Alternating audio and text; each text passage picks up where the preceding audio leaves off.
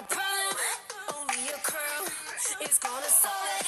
Man, I don't really care. Just get in my head. Yeah, Let's fix it up, get it off my shoulder. I've had enough, can't take no longer. I'm over here, I swear.